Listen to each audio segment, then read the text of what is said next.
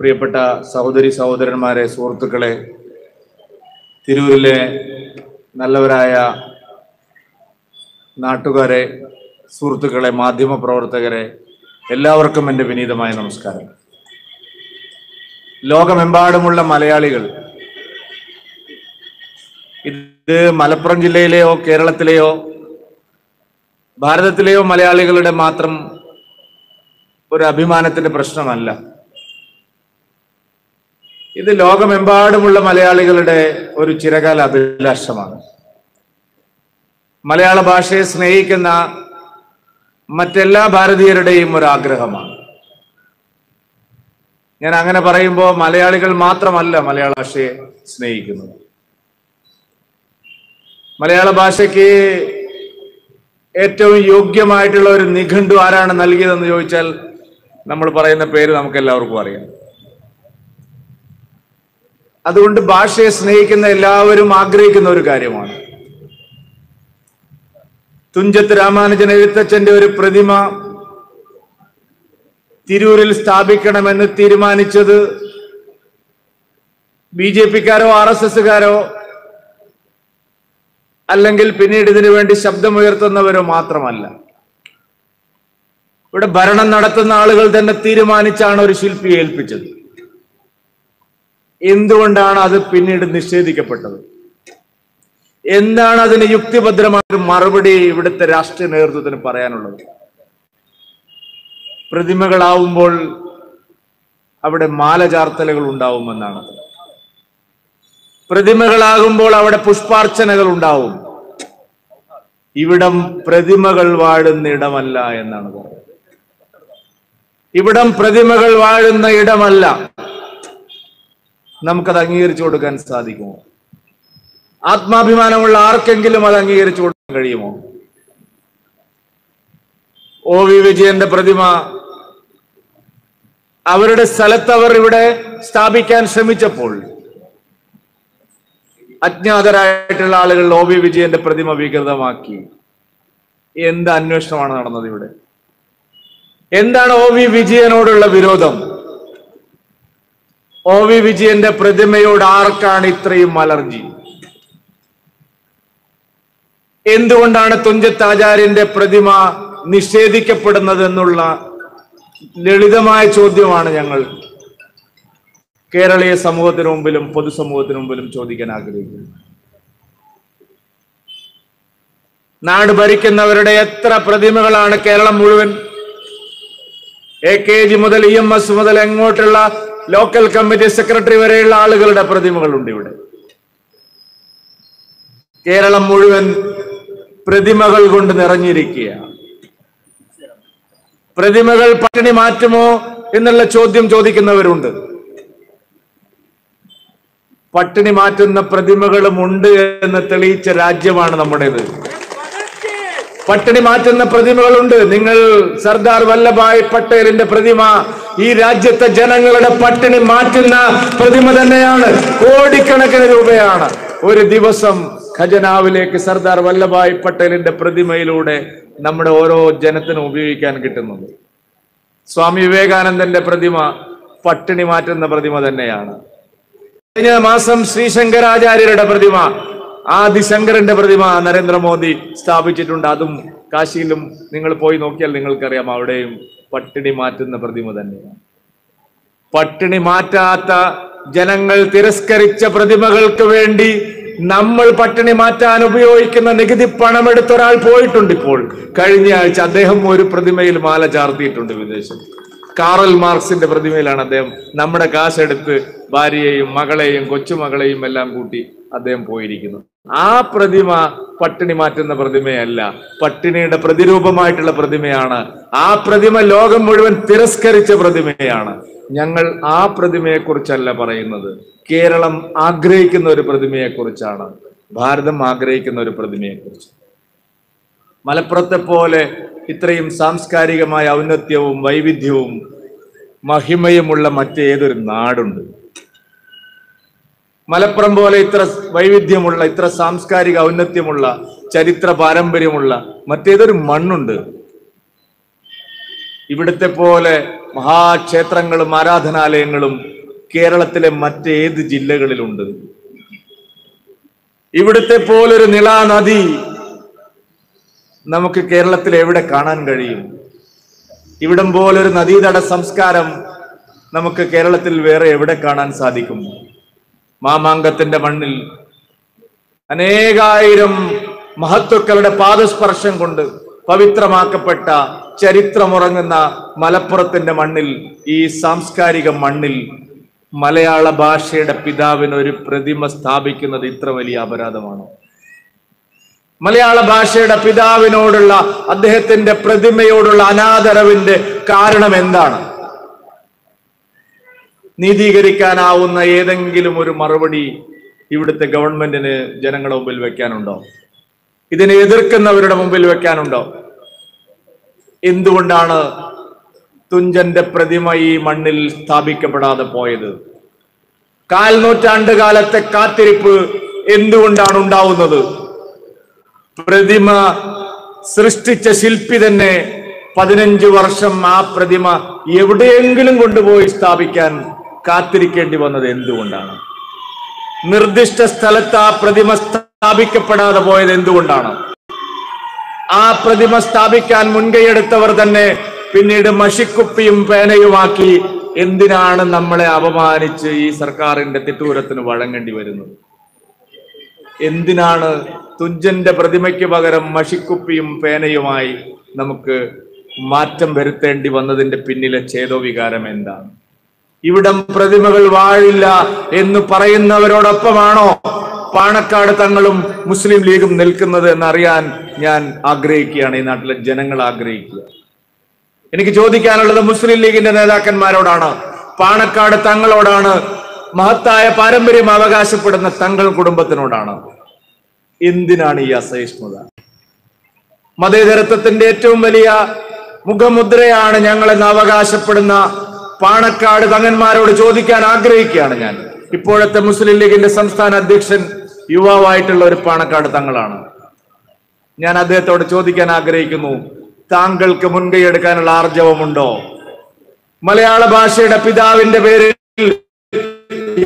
ഈ മലപ്പുറം തിരൂരിന്റെ മണ്ണിൽ ഉദാത്തമായ ഒരു പ്രതിമ സ്ഥാപിക്കാൻ മുൻകൈ എടുക്കാൻ പാരമ്പര്യം അവകാശപ്പെടുന്ന പാണക്കാട് തങ്ങൾ മുൻകൈയെടുക്കാൻ തയ്യാറുണ്ടോ എന്ന് ചോദിക്കാൻ ഞാൻ ആഗ്രഹിക്കുകയാണ് എന്തുകൊണ്ട് പാണക്കാട് തങ്ങൾക്ക് അങ്ങനെ ഒരു സതുദ്യമത്തിന് നേതൃത്വം കൊടുക്കാൻ സാധിക്കുകയില്ല? മനസ്സ് വെച്ചാൽ പാണക്കാട് തങ്ങൾക്കും മുസ്ലിം ലീഗിന്റെ നേതാക്കന്മാർക്കും ഈ തിരൂരിന്റെ മണ്ണിൽ ഒരു പ്രതിമ സ്ഥാപിക്കാൻ കഴിയില്ലേ? എന്തുകൊണ്ടാണ് അങ്ങ് മനസ്സ് വെക്കാത്തത്? എന്തുകൊണ്ടാണ് പാണക്കാട് കുടുംബം ഇങ്ങനെ ഒരു നിരുപദ്രവകരമായ ആവശ്യത്തോട് പുറംതിരിഞ്ഞു നിൽക്കുന്നത് ഞാൻ കുഞ്ഞാലിക്കുട്ടിയോട് ചോദിക്കുന്നില്ല. ഞാൻ ഇ ടി മുഹമ്മദ് ബഷീറിനോട് ചോദിക്കാൻ ആഗ്രഹിക്കുന്നില്ല. ഞാൻ മുസ്ലിം ലീഗിന്റെ പി എം എ സലാമിനോട് ചോദിക്കാൻ ആഗ്രഹിക്കുന്നില്ല. ഞാൻ പാണക്കാട് ശിഹാബ് തങ്ങളുടെ മകനായിട്ട് സഹോദരനായിട്ടുള്ള പുതിയ മുസ്ലിം ലീഗിന്റെ പ്രസിഡന്റിനോട് വിനയത്തോടെ ചോദിക്കാൻ ആഗ്രഹിക്കുന്നു. എന്തുകൊണ്ടാണ് താങ്കൾക്ക് ഇതിനൊരു മറുപടി നൽകാൻ കഴിയാത്തത്. ഇവിടം പ്രതിമകൾ വാഴില്ല എന്നുള്ളത് നിങ്ങളുടെ പാർട്ടിയുടെ നിലപാടാണോ? ഇവിടം പ്രതിമകൾ അനുവദിക്കില്ല എന്നുള്ള തിട്ടൂരം നിങ്ങൾ അംഗീകരിച്ചു കൊടുത്തിട്ടുള്ളതാണോ? അങ്ങനെയാണെങ്കിൽ വലിയൊരു തെറ്റായ സന്ദേശമായിരിക്കും നിങ്ങൾ മലപ്പുറത്തെ ജനങ്ങൾക്കും കേരളത്തിലെ ജനങ്ങൾക്കും നൽകാൻ ആഗ്രഹിക്കുന്നു ഞാൻ ഒരിക്കൽ കൂടി ആവർത്തിച്ച് ചോദിക്കുന്നു. താങ്കൾ നിലപാട് വ്യക്തമാക്കാൻ തയ്യാറുണ്ടോ? തിരൂരിൽ മുനിസിപ്പാലിറ്റിയുടെ നേതൃത്വത്തിൽ നേരത്തെ തീരുമാനിച്ച പ്രതിമാ നിർമ്മാണം തടസ്സപ്പെടുത്താനുള്ള കാരണം പുനഃപരിശോധിച്ച് നിങ്ങൾ ഭരണത്തിലിരിക്കുന്ന മുനിസിപ്പാലിറ്റിയുടെ നേതൃത്വത്തിൽ താങ്കൾ തന്നെ മുൻകൈയെടുത്ത് ഈ തിരൂർ മുനിസിപ്പാലിറ്റിയിൽ നേരത്തെ പറഞ്ഞ സ്ഥലത്ത് ആ പ്രതിമ എല്ലാവരും ചേർന്ന് സ്ഥാപിക്കാൻ താങ്കൾ മുൻകൈ എടുക്കുമോ ഇല്ലയോ എന്നുള്ള ചോദ്യത്തിന് താങ്കൾ ഉത്തരമെങ്കിലും പറയാൻ തയ്യാറാവണം എന്ന് ഞാൻ ആവശ്യപ്പെടുകയാണ്. എനിക്ക് മുഖ്യമന്ത്രി പിണറായി വിജയനോടും ചില ചോദ്യങ്ങൾ ചോദിക്കാനുണ്ട്. ഈ പ്രതിമ നിർമ്മാണത്തിന് വേണ്ടിയുള്ള പോരാട്ടം നടത്തുന്ന നമ്മുടെ നാട്ടിലെ എല്ലാവർക്കും ബഹുമാനപ്പെട്ട മുഖ്യമന്ത്രിയോടും ഒരു ചോദ്യം ചോദിക്കാനുണ്ട്. താങ്കൾ ഒരു മതേതര പാർട്ടിയുടെ നേതാവായിട്ടാണല്ലോ അധികാരമേറ്റിരിക്കുന്നത്. താങ്കൾ മതേതരത്വമാണ് പ്രധാനപ്പെട്ട എന്റെ ഏറ്റവും വലിയ പ്രതിജ്ഞാബദ്ധത എന്ന് ആവർത്തിച്ച് ആവർത്തിച്ച് പറഞ്ഞുകൊണ്ടിരിക്കുന്ന നേതാവാണല്ലോ. ഏത് മതേതര ചിന്തയാണ് തിരൂരിന്റെ മണ്ണിൽ ഒരു പ്രതിമ സ്ഥാപിക്കാതിരിക്കാൻ താങ്കളെ പ്രേരിപ്പിക്കുന്നത്?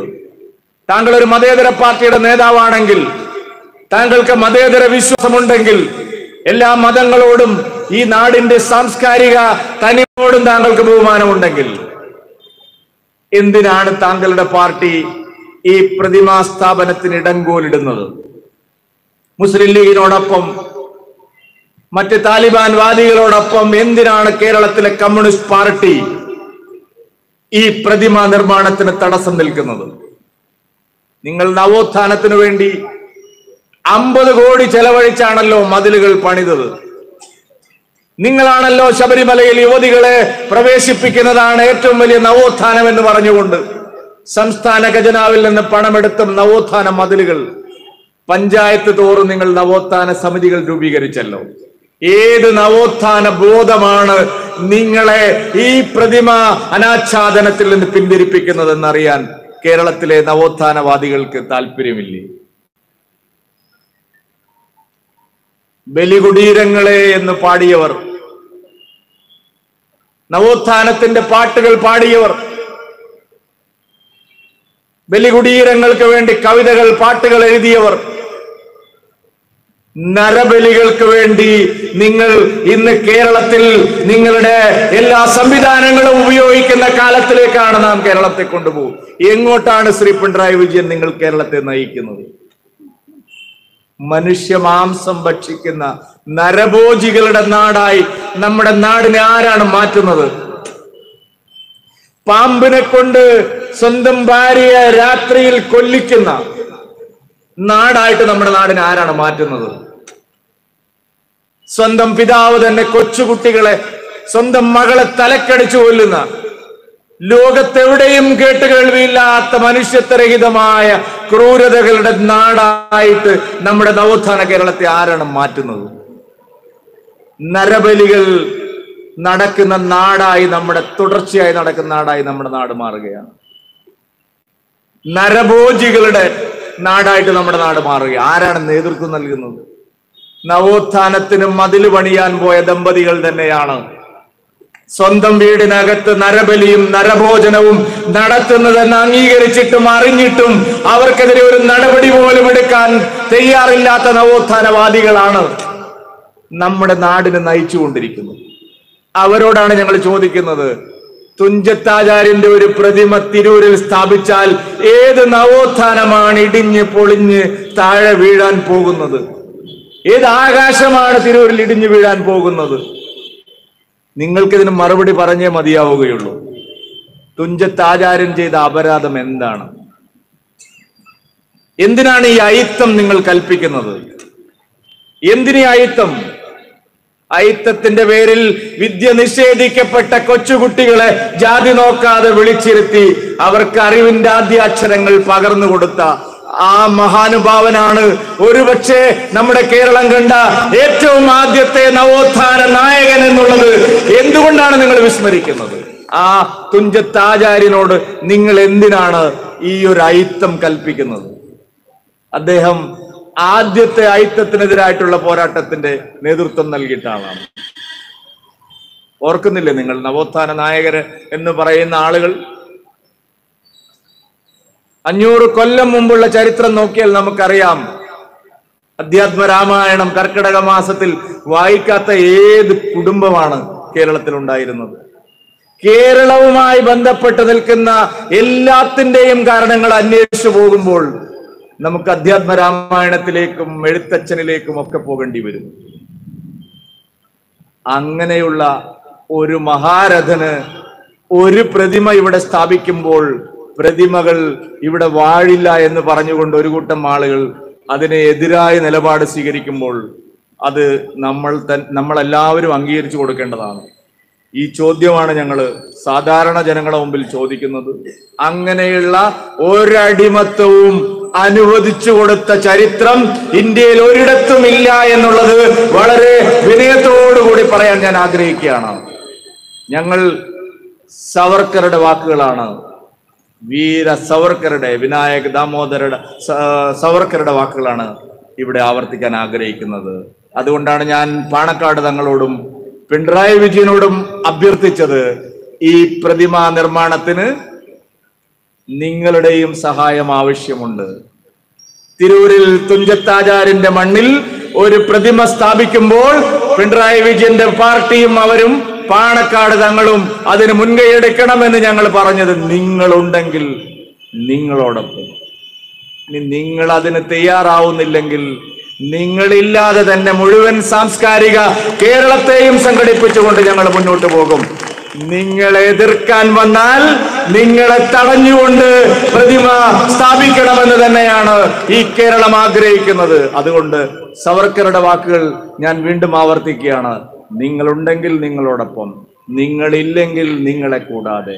നിങ്ങളെങ്ങാനും എതിർക്കാൻ വന്നാൽ നിങ്ങളെയും തടഞ്ഞുകൊണ്ട് തുഞ്ചത്താചാര്യന്റെ മണ്ണിൽ പ്രതിമ സ്ഥാപിക്കണമെന്ന് തന്നെയാണ് മലയാളികൾ ആഗ്രഹിക്കുന്നത് കേരളം ആഗ്രഹിക്കുന്നത്.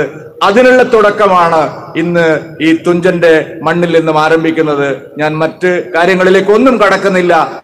അതിന് ഈ നാട്ടിലെ എല്ലാ വിഭാഗം ജനങ്ങളുടെയും കക്ഷി രാഷ്ട്രീയത്തെയും ജാതി മതത്തിന്റെയും എല്ലാം അതിർവരമ്പുകൾ മാറ്റിവെച്ചുകൊണ്ട് ഭേദഭാവങ്ങൾ മറന്നുകൊണ്ട് ഈ ഒരു സതുദ്യമത്തിന് ഞങ്ങളോടൊപ്പം നിൽക്കണം എന്ന് എല്ലാവരോടും താഴ്മയോടെ അപേക്ഷിച്ചുകൊണ്ട് ഞാൻ എന്റെ എളിയ വാക്കുകൾ അവസാനിപ്പിക്കുകയാണ്. ഭാരത് മാതാ കി.